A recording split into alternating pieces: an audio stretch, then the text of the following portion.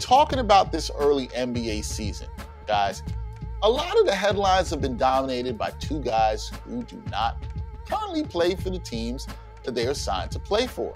That would be one, Kyrie Irving of the Brooklyn Nets, and two, Ben Simmons of the Philadelphia 76ers. Now, I don't know if anybody saw this, but yesterday, before the Nets home opener, which they lost to the Charlotte Hornets without Kyrie, who has decided to stay uh, away from the team and not participate because he does not have a COVID 19 vaccine and says he is being a voice for the voiceless. If you want to know how I feel about that, you can check out one of our recent episodes of the Ain't Hard to Tell podcast because I don't think Kyrie's really being a voice at all. However, outside the Barclays Center yesterday, there were people protesting. Protesting for the fact that Kyrie Irving cannot play right now. Fans outside chanting, let him play. Whew. I don't even know where to begin on this. First of all, Kyrie could play and be part of a team and do the right thing and protect himself and his teammates and his family and all this stuff, but he's choosing not to do that.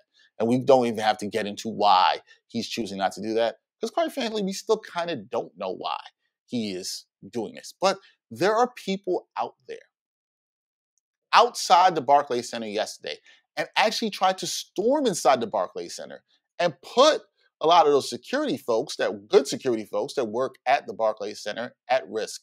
And in a position most of them didn't even imagine they would be in when they got up and went to the Barclays Center to work yesterday afternoon. They didn't think they were going to deal with this. And I asked the people who were outside there at the Barclays Center, what are you protesting for? The chance of let Kyrie play? Kyrie's not thinking about you. Kyrie's not out here doing this for you. And see, here's what's interesting. The voice of the voiceless, and many, this is a statement by Kyrie said on his IG Live. Many people have interpreted the voiceless as being those who are anti vax. And I have said that the folks who are anti vax have had a pretty loud voice in this, right? They, they're major, a minority of the people, a loud minority of the people, but they've had a pretty loud voice in this. Don't think they're voiceless at all. But these are folks outside the Barclays Center yesterday who are protesting for a multi million dollar athlete who refuses to currently be a part of his team. Like I said, he doesn't care about you. You're out here protesting for him. He doesn't even know who you are. You're out here protesting for him for this to let Kyrie play. Kyrie could play. It's really simple. All he's got to do is take the vaccine and do the right thing. But Kyrie's refusal to play, along with his Instagram Live about a week ago, which made no sense, now has people out here empowered and emboldened to go outside the Barclays Center where they have to put up barricades because they're chanting in his name to let him play because they want vaccine mandates in New York to end. Yeah, this this this is where they are now. As how that affects the team on the basketball court, the Nets they are one and two. They had a fantastic comeback win against the Philadelphia 76ers on Friday night. This was following their opening night loss to the Milwaukee Bucks. And then they come home and they lose to the Charlotte Hornets. Do the Nets miss Kyrie? Yeah, I think so. They definitely do miss Kyrie. Do I still think they're talented enough and can figure things out and get things right and still win the NBA championship? Of course. But they miss Kyrie. Let's make no joke about this. They are going to miss Kyrie and the impact of Kyrie for sure. How that shakes out, when we will see Kyrie, who knows? If you watched our opening night special with myself, Bryan Fonseca, Jamal Murphy, and Gerard Hector, we all talked about this. Are the Nets going to have to set a deadline? When is that deadline? When is it appropriate for Kyrie to come back? And the teammates feel like he's still a part of this team because he's going to have some explaining to do when he comes back. It's not like Kyrie can just come back and be like, okay, guys, now I'm back. And when is it at the point where it's not cool anymore? The longer this goes on, as Murph said on that show, the less likely I think his teammates are going to be willing to have him back with open arms on this team, particularly Kevin Durant and James Harden. I don't think they're really going to be here for the BS much longer. Either you're in or you're out. Speaking of out, Ben Simmons still out for the 76ers, still not playing. We saw all that drama unfold last week.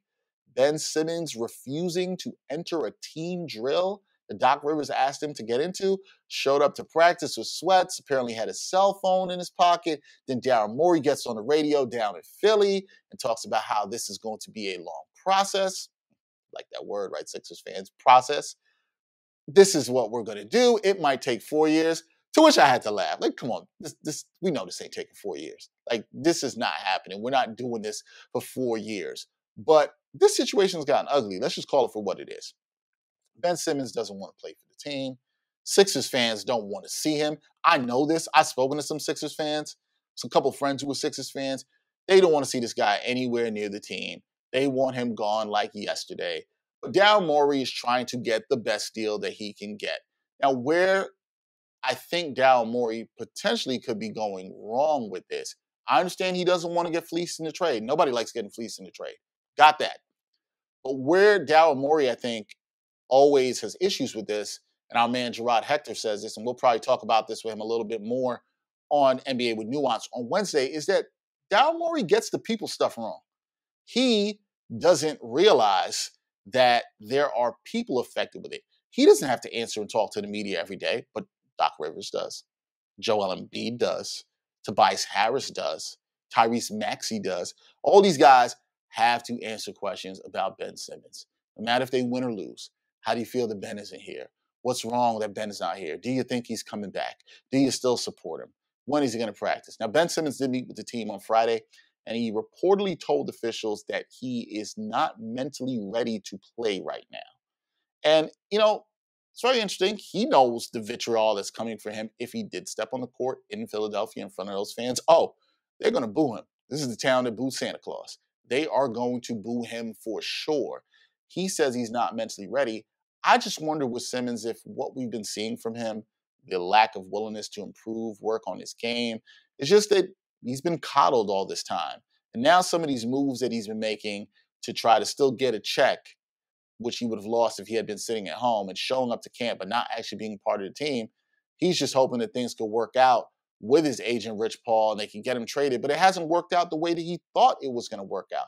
So this is a mess. The thing to watch is is Morey really about that life? Is he really in this for the long haul? It's not going to be four years. He's not going to do this for four years. We know it can't last that long. But I think when Morey talks about it lasting longer, he's talking about December 15th, folks. We have to watch that December 15th target for the Sixers and why that's important because that's the date when rookies can be traded, players who were signed in the offseason, that's the first day they're eligible to be traded. So that's a huge date where the Sixers could have a lot more options and a lot more flexibility in terms of a trade. But look, none of this talk is going away for these two guys, Ben Simmons and Kyrie Irving, who are not playing for their teams. Are they hurting their teams? Yes. Is that going to change anytime soon? I don't know. I really don't know the answer to that. But it's crazy that in the first week of the NBA season, a lot of the talk is surrounded two guys, two stars in this league who are not playing for their teams.